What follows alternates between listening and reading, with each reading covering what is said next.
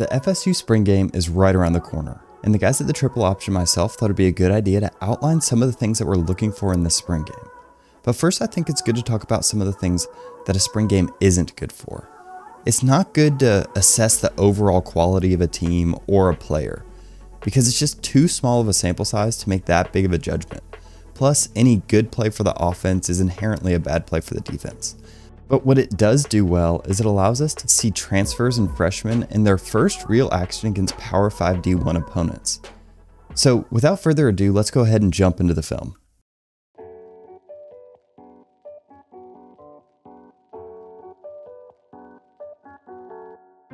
It might be the quarterback in me, but when I first watch a football play, my eyes go towards the secondary.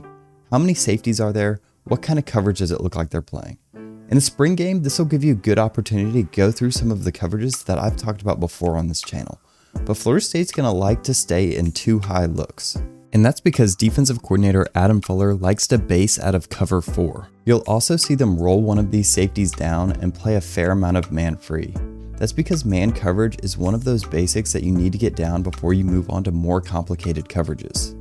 But both of these coverage schemes, Cover 4 and Man Free, do something in particular that's really nice for the spring game. They put these corners on islands and make them take any man deep. This gives us a great opportunity to see two of FSU's most highly rated recruits from last year in action early. In particular, Azareyeh Thomas is getting a lot of attention because of his length and athleticism. However, that length means that he's a little bit slow off the line, so it'll be interesting to see how he can handle quicker receivers at the D1 level early in his career. Another potential question I have for the secondary is who fills Jarvis Brownlee's shoes as the experienced corner on this team?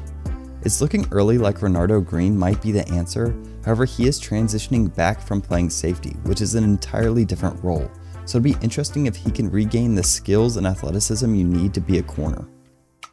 A lot of the focused in coverage goes on these corners and safeties, but in reality, they can't get their jobs done if they can't trust the guys underneath them in coverage, and that's been a big problem for FSU in recent past.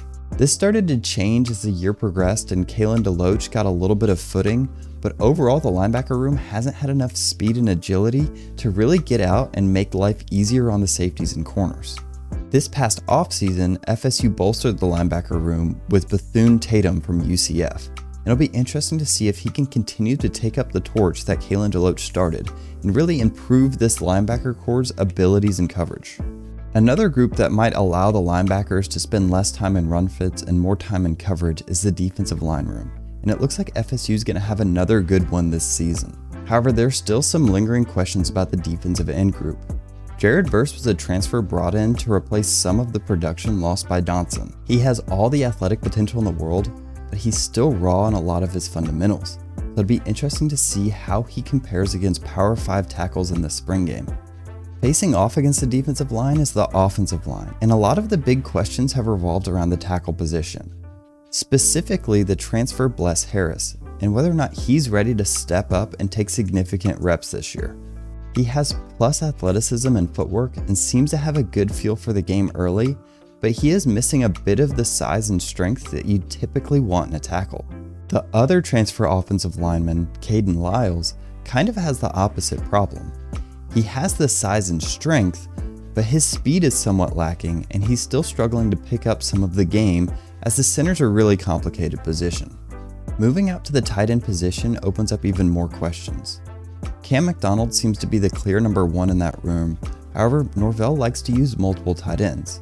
So who's going to step up after him? Is the young Jackson West ready to step up and get big time minutes? Or are we still going to see a healthy rotation of Preston Daniel and Wyatt Rector, two kind of more known entities? Another guy that may potentially get some reps at tight end is 6'7 transfer Johnny Wilson Jr. from Arizona State.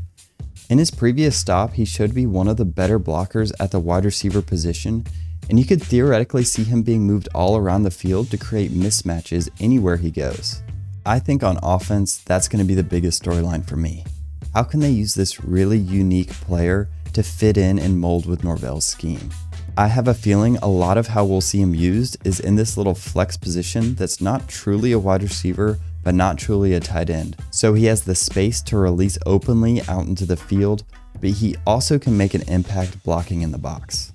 There's still a lot of questions that need to be answered in the wide receiver room. Malik McClain came along a lot as the season went on last year, but is he ready to be your number one on the outside? It'll be interesting to see how transfer wide receiver Mycah Pittman slots in as well. He has a very similar build to Ja'Khi Douglas, but I think he offers a very different skill set.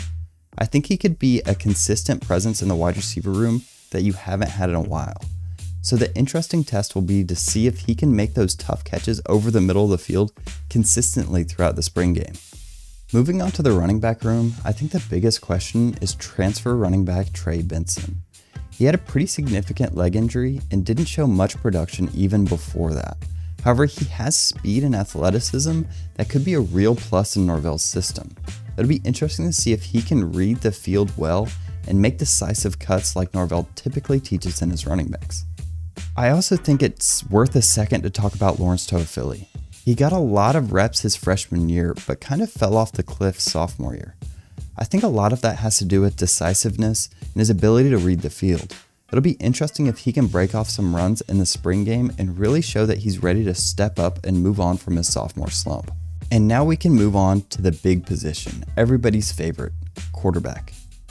Jordan Travis is the starter. There's no question about it. But can he progress as a passer to be a really dominant quarterback at the college level? Particularly, what I'm going to be looking for is his ability to make throws over the middle and throw the ball before his wide receivers get open. I call this anticipation, and it's one of the most important skills for a quarterback to have. Behind him, there's also a big question at who his number two is going to be. Tate Rodemaker's been here a few years and has the tools and arm strength, but he makes some really baffling decisions, and it's hard to know if he's really ready to step up and have any significant snaps this year. Behind him is four star quarterback AJ Duffy, who has all the tools but is still young, and it'll be interesting to see how he progresses and how quickly he can read the field in this spring game. Specifically, I want to be able to see if he's making multiple reads in one play, going from one receiver to the next to the next and making a decision before he gets sacked. Traditionally, freshman quarterbacks have trouble doing this and they're slow with their reads.